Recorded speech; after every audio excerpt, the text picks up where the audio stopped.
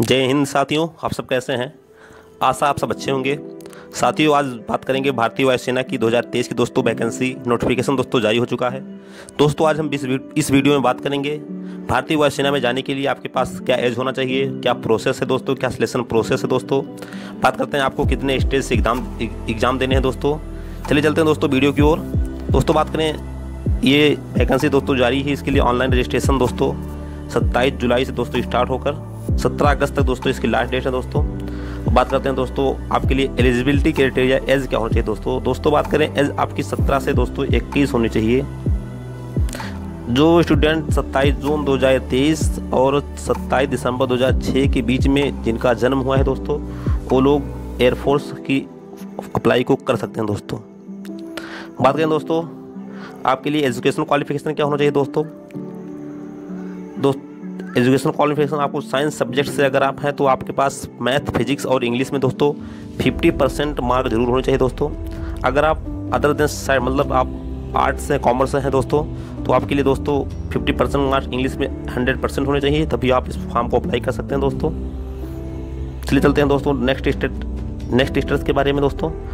आपकी दोस्तों chest chest दोस्तों, पाँच सेंटीमीटर पुराने के बाद मेल की बढ़ने चाहिए। फीमेल के लिए कोई क्राइटेरिया नहीं है दोस्तों।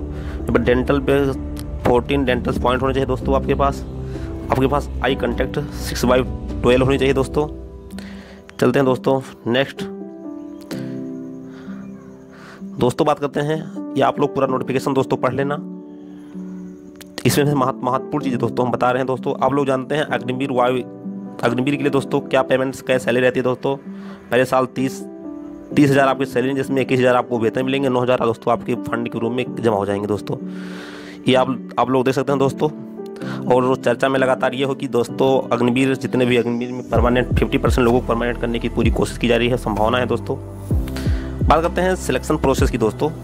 सबसे पहले सिलेक्शन प्रोसेस के लिए दोस्तों आपको फ़ेज़ वन ऑनलाइन टेस्ट सी दोस्तों एग्ज़ाम होगा, जिसके लिए आप, अगर आप साइंस सब्जेक्ट से हैं दोस्तों तो आपकी सिक्सटी मिनट आपके फिजिक्स मैथ और इंग्लिश दोस्तों रहेंगे। Ten plus two C B syllabus से दोस्तों। अगर आप अदर देन साइंस सब्जेक्ट्स हैं दोस्तों तो आपको पैंतालीस मिनट जिसमें से रीजनिंग जनरल अवेयरनेस दोस्तों रहेंगे और इंग्लिश रहेंगे दोस्तों।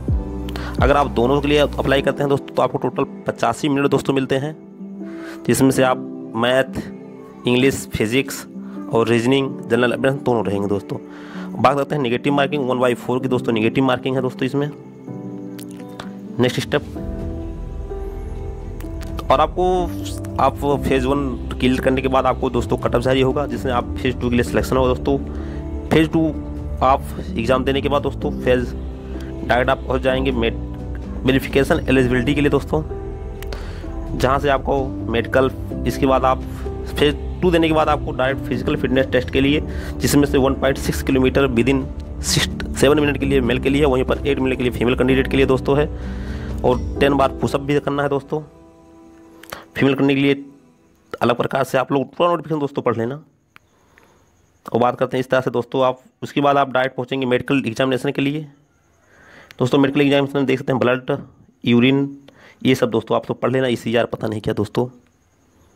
बात करते हैं नेक्स्ट सिस्टम ये सब होने के बाद दोस्तों आप लोग डायरेक्ट डॉक्यूमेंट वेरिफिकेशन के लिए पहुँचेंगे, इसके बाद आप डायरेक्ट एयरफोर्स में ज्वाइनिंग हो जाएगी दोस्तों ट्रेनिंग के बाद। दोस्तों, ऐसे वीडियो देखने चैनल को like share subscribe thank you दोस्तों, मिलते हैं अगले वीडियो में।